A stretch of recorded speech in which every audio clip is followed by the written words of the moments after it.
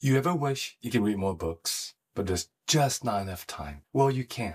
With AI tools like ChatGPT, you'll be able to get all the takeaway points in the overview of the book and be able to talk about them intelligently at the next party.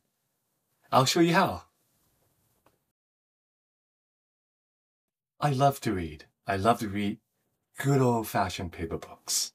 To me, there are few things better than cozying up with a book next to a fireplace or grabbing one and lounging by the pool. But there are situations where sometimes we need just a quick summary of a book, just an overview, whether it's something you already read or something brand new. Maybe something you're mildly interested in and you want to see whether you want to invest more time.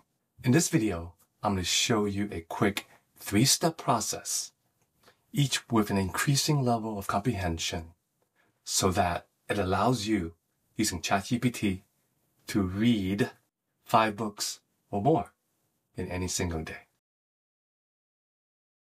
Who is this for? Summarizing books with ChatGPT is perfect for anyone who wants to save time while still enjoying the key ideas and stories. Whether you're catching up on a classic or exploring new genres, both fiction and nonfiction, this method gives you the essence of a book without you committing hours to reading. It's also great for book clubs or discussions when you need a quick refresher. Let's dive in. Step number one. I call this step my three paragraph hack. Using this step, you get a quick overview of the entire book in three concise paragraphs. For this demo, let's head over to ChatGPT. We're going to use, as an example, the book The Great Gatsby by F. Scott Fitzgerald. I might or might not have read this in high school. Using this step, it'll help me understand the main plot, characters, and themes in just a few minutes. We're going to type in, summarize The Great Gatsby in three paragraphs. It's as simple as that. And You press enter, and we'll see what Chat GPT gives us. Right, it's already hard at work. And in just three paragraphs, we have the core of the story.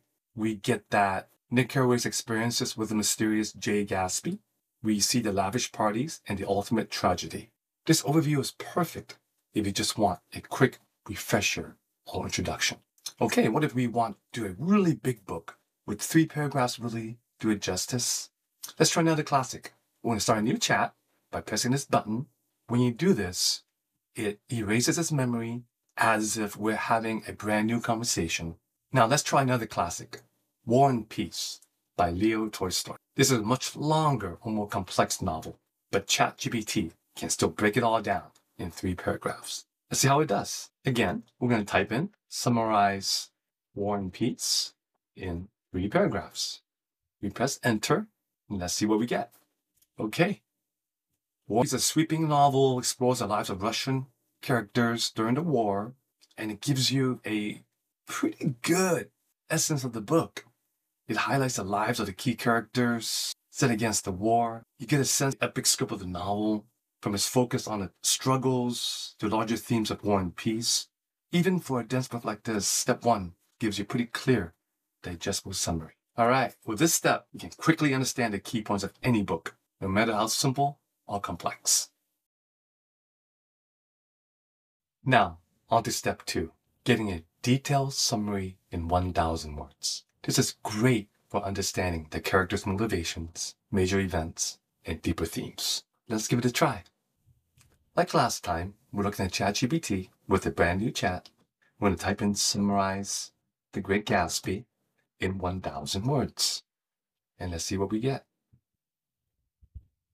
1,000 words is significantly more than three paragraphs. So we're seeing a lot of summary of the entire book. Here, ChatGPT expands on the key moments, like Gatsby's backstory, Nick and Buchanan's, his love for Daisy, and the tension between some characters. You get a much more fuller picture of the story, including its social commentary on the American dream. Let's try this with our second example. War and Peace. Summarize War and Peace in 1,000 words. It gives you a lot more characters, it gives you a lot more of the plot overviews in a lot more detail. The 1000 word level gives a really great comprehension of the work without spending too much time reading it. This is probably a four or five minute read and is perfect for things like book reports or slightly deeper discussions. And finally, for step three, a 2500 word summary of those who want a near complete understanding of the book. Let's ask ChatGPT to summarize The Great Gatsby in 2500 words. So as we can see, it is almost a breakdown of chapter by chapter. We get all the intricate details, like the symbolism of the green light, Gatsby's dream of reuniting from the past, and also with Daisy, and the tragic ending as a conclusion of the book. It's like having a highly comprehensive study guide that gives you almost everything except the dialogue. It really gives you a detailed nuance and understanding of the book. Using this three-step process, you can read five books in a day by summarizing them at different levels. Start with a quick overview to decide if you're interested. Dive deeper with 1,000 words, or get the full story with 2,500. You could explore classics like Pride and Prejudice, popular fiction like The Alchemist, or even non-fiction books like Sapiens. Here are a few tips to help you get the best results when summarizing books using ChatGPT. 1. Be specific with your questions. Mention the author and full title of the book if possible. 2. Use more follow-up questions to explore key themes or to clarify some details. Here's what I mean. For example, after getting a 2500 word summary of The Great Gatsby, you might want to ask, what are the key themes in this book? ChatGPT will summarize this and tells you that it's really about how it critiques the moral and social fabric of America's 1920s. It's wonderful. Another great follow-up question is, explain the ending in more detail.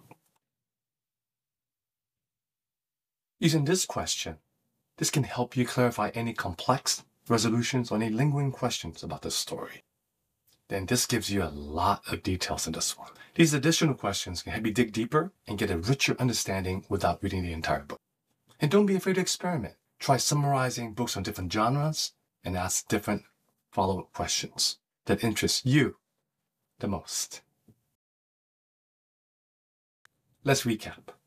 With ChatGPT, you can summarize books in three easy steps.